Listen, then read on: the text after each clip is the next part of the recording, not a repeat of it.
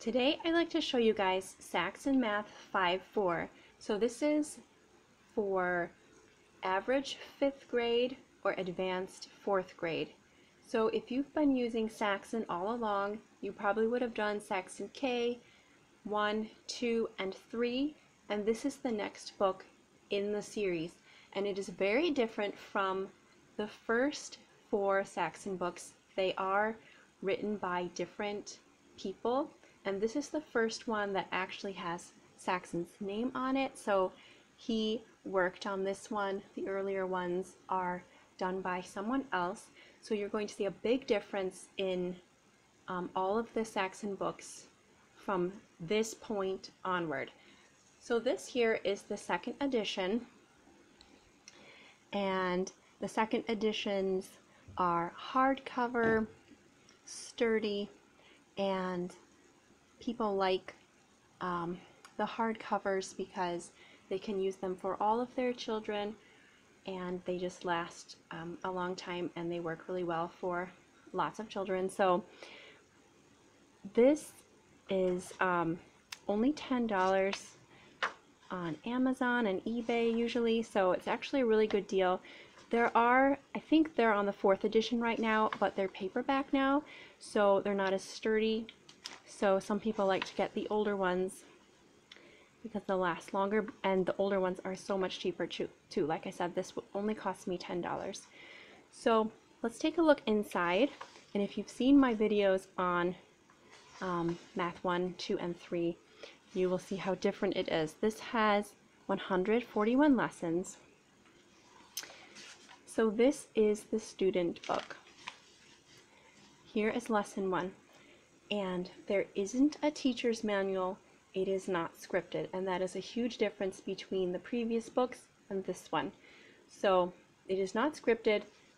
If you have um, a student who likes to work independently they might be able to do this independently completely on their own. They can read it to themselves and then get right to work on the problems. So this is a little box of extras up here.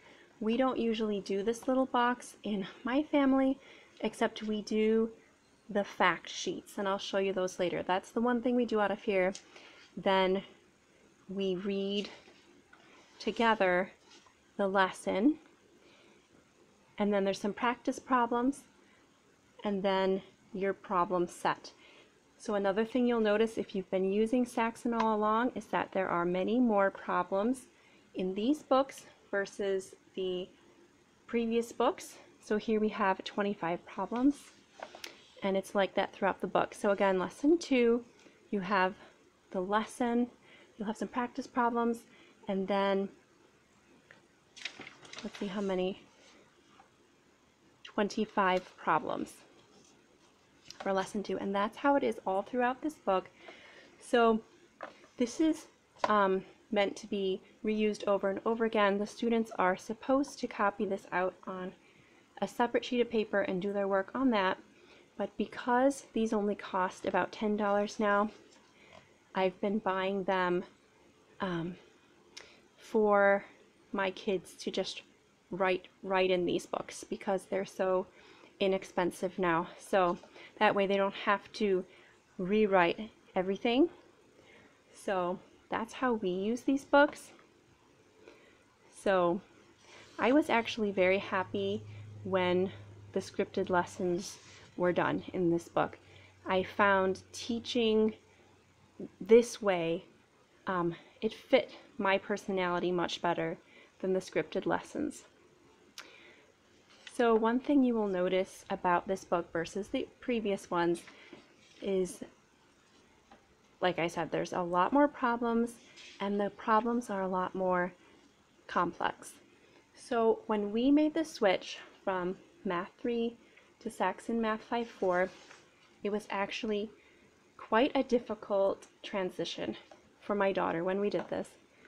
It took her most of the school year to really um, start doing okay with this program because it was such a change. There were so many more problems and it was more complex right off the bat. So if you are transitioning from Math 3 to Math 5 4, just be aware that um, you might have a little difficulty in the transition. So that's what this looks like, and I'll show you toward the end how it looks. It's pretty much the same throughout.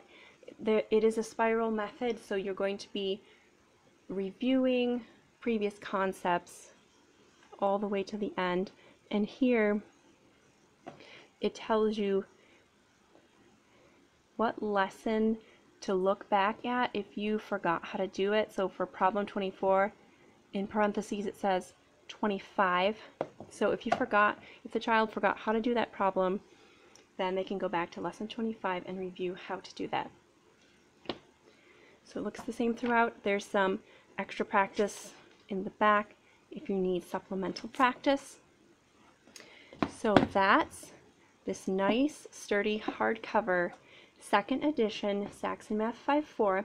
So if you're going to use this book, you will need several other things along with it. So this is the answer key. So you absolutely would need the answer key. So that's what this is. And then you will also need the test forms. And this does not just have, it has the tests in it here. So these are examples of the tests. But it also has, very importantly, in the front, it has your facts practice worksheets. So you make copies of these. These are reproducible. And so each day you would do a fact sheet. So what I did for my daughter when we did this was I made one copy and I laminated them all.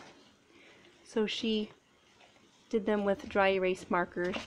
It didn't quite, you know, come off very well, but we were able to use these the whole school year, these laminated sheets instead of wasting paper and ink and printing them up a whole bunch of times. And also with her, we only did half the page so that she wouldn't be completely overwhelmed every day by many, many, many math facts. So, so that is Saxon Math 5-4. So if you guys have any additional questions, please leave them below and I will get back with you. And thank you so much for watching and I hope you guys have a great day.